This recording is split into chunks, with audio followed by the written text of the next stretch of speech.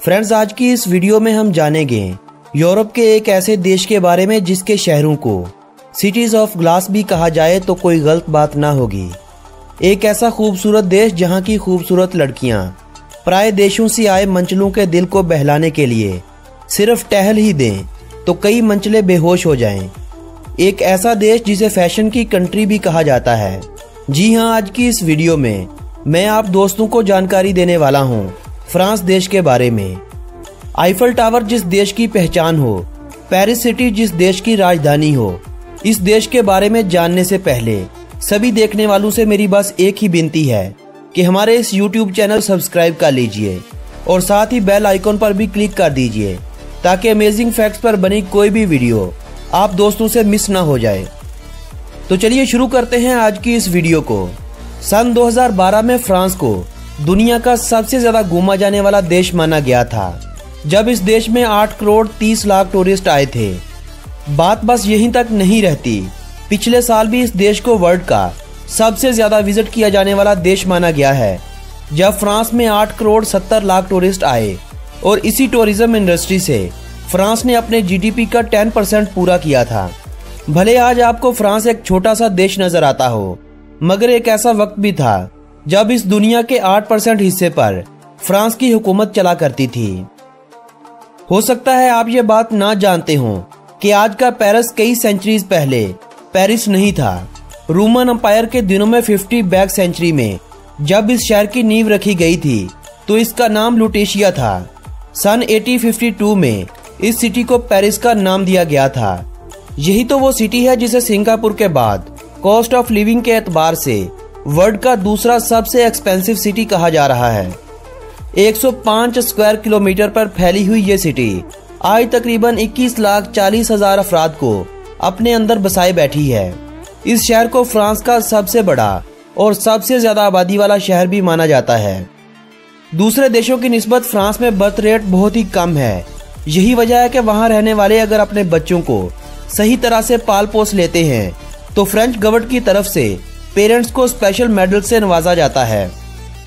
आप दिल्ली में हो लखनऊ में या आप हो दुबई आप वर्ल्ड के किसी भी देश में चले जाएँ, आपको वहाँ के लगभग सभी बड़े सिटीज़ में स्टाफ साइन लगे ज़रूर नज़र आएँगे।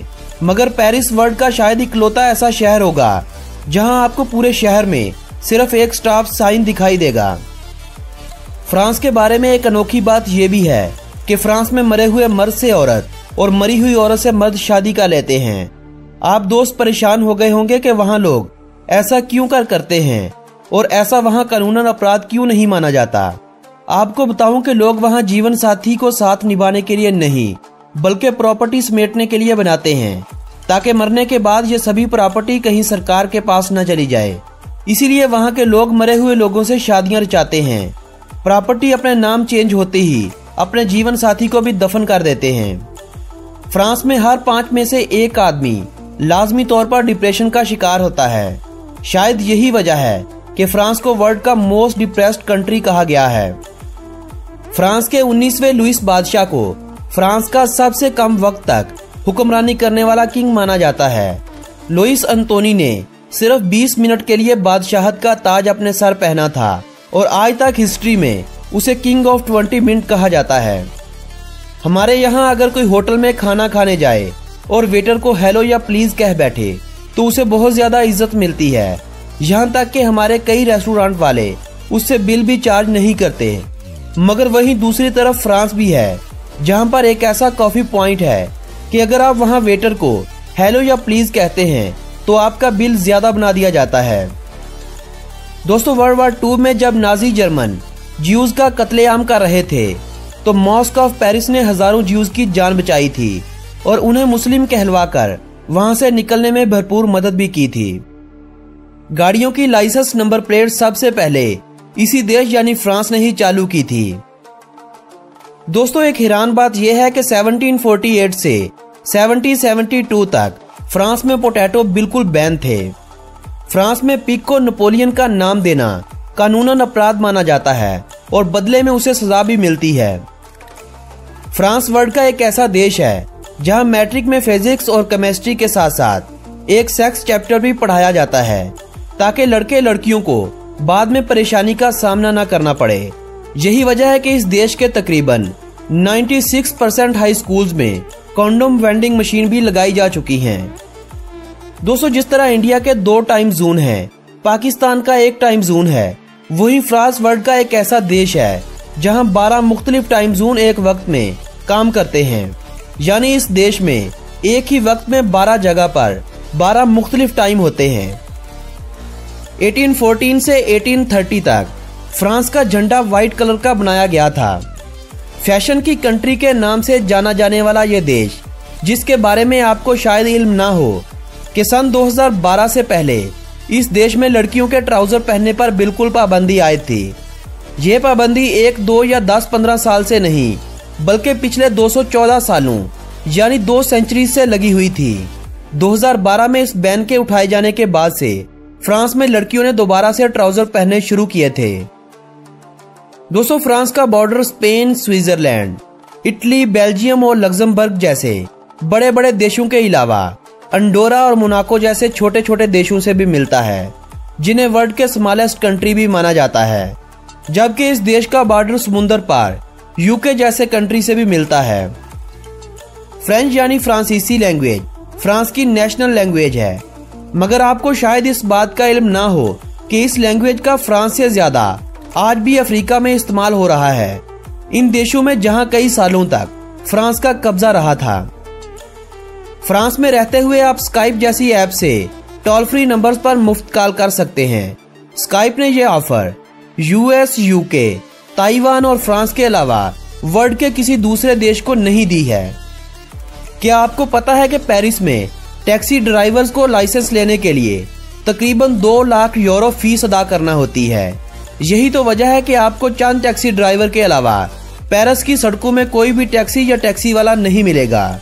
लोग खुद की गाड़ियाँ या पब्लिक ट्रांसपोर्ट को ही तरजीह देते हैं। फ्रांस में एक दिन एवरेज हर पर्सन लगभग नौ घंटे तक सोता है। जो डेवलप्ड कंट्रीज़ में सबसे ज़्यादा है। आज वर्ल्ड के जो देश अपना इंडिपेंडेंट डे मनाते हैं, इनमें से 58 कंट्री यूके से आज़ाद हुए थे 26 फ्रांस से 21 रशिया से, और इतने ही यानी 21 स्पेन से आज़ाद हुए थे। गैलिक रोस्टर फ्रांस का नेशनल एनिमल है। फ्रांस का कोई भी नेशनल ट्री नहीं है, लेकिन आयरस इस देश का नेशनल फ्लावर माना जाता है। जर्मनी, ऑस्ट्रिया, स्पेन और नेदरलैंड की तरह फ्रांस में भी। बियर आपको मैकडोनल्ड के रेस्टोरेंट से मिल जाएगी। फ्रांस में अगर आप मरने से पहले कह दें कि आप अपने ऑर्गन को डोनेट नहीं करना चाहते तो ठीक है, वरना आपके ऑर्गन किसी दूसरे मरीज़ को ऑटोमेटिक डोनेट कर दिए जाते हैं। फ्रेंच मिलिट्री को यूरोप की सबसे बेहतरीन फौज माना जाता है, जिसने आज तक 168 वार लड़ी हैं, जिनमें से 109 विन की 49 लूज की और 10 बिना फैसले के खत्म हो गई थी। फ्रांस ने सन 2016 में यह क्लेम किया था कि फ्रांस वर्ल्ड का पहला ऐसा देश बन चुका है, जिसने कारों के चलने के लिए ग्रीन एनर्जी से एक रोड बना दिया, यानी एक ऐसा रोड जो सोलर प्लेटों से बना हुआ है। फ्रांस में किसी भी मुजरिम की हथकड़ियों में बनी फ़ोटो को सोशल मीडिया, प्रिंट मीडिया या इलेक्ट्रॉनिक मीडिया पर शेयर करना बहुत ही बुरा समझा जाता है। फ्रांस में इस्तेमाल होने वाली करेंसी को यूरो कहा जाता है, जबकि फ्रांस के कब्जे वाले दूसरे देशों, जिनमें फ्रेंच पोलिनेशिया न्यू कैलिडोनिया और वालीज एंड फतूना जैसे देशों में यूरो करेंसी की जगह सी एफ़ पी फ्रांक का यूज़ किया जाता है। फ्रांस में एवरेज 10.9 लीटर पर पर्सन हर साल अल्कोहल इस्तेमाल करता है। इतनी अल्कोहल ना तो यूएस और ना ही यूके में इस्तेमाल होती है, जितनी एवरेज अल्कोहल फ्रांस में इस्तेमाल की जाती है। यूरोपीय यूनियन का एरिया के हवाले से, सबसे बड़ा देश भी यही फ्रांस है, जबकि छह लाख चालीस हज़ार स्क्वायर किलोमीटर एरिया के साथ, ये वर्ल्ड का 42 नंबर पर आने वाला बड़ा देश भी है, जिसकी जनसंख्या 6 करोड़ तिहत्तर लाख पर्सन है। जनसंख्या के हवाले से, ये वर्ल्ड का इक्कीसवां बड़ा देश माना जाता है। यूरोपीय यूनियन में जनसंख्या के हवाले से, पहले नंबर पर जर्मन आता है और दूसरे नंबर पर फ्रांस। दोस्तों, फ्रांस में लगभग 82 साल तक इस देश के नौजवान जीते रहते हैं। फ्रांस वर्ल्ड के उन चंद देशों में से एक है, जहाँ पेट्रोल आपको बहुत ही एक्सपेंसिव दिखाई देगा। फ्रांस में आजकल पेट्रोल प्राइस 1.51 यूरो है, यानी लगभग 117 इंडियन रुपयों के। पेट्रोल प्राइस को लेकर आए रोज फ्रांस के शहरी सड़कें ब्लॉक कर देते हैं। फ्रांस में लोग कारों से ज़्यादा बाईसाइकिल का इस्तेमाल करते हैं। वर्ल्ड का पहला डिपार्टमेंट स्टोर भी इसी देश में बना था। फ्रेंच रेवोल्यूशन के बारे में एक बहुत ही मज़ेदार वीडियो। मैं फिर कभी आपको बनाकर दिखाऊँगा। आज की ये वीडियो आप दोस्तों को कैसी लगी? अगर अच्छी लगी तो बताना मैं इस वीडियो का पार्ट टू भी बनाऊँगा। इस वीडियो को अपने फ्रेंड्स और फैमिली मेंबर्स के साथ व्हाट्सएप और फेसबुक वाल पर शेयर ज़रूर कीजिएगा। हो सके तो लाइक वाला बटन भी दबा देना, ताकि मैं आप लोगों के लिए अमेजिंग फैक्ट्स के साथ ऐसी ही प्यारी प्यारी वीडियोस बना सकूँ। तो चलते हैं इस वीडियो को यहीं पर खत्म करके। आपसे मिलेंगे जल्दी एक नई वीडियो के साथ।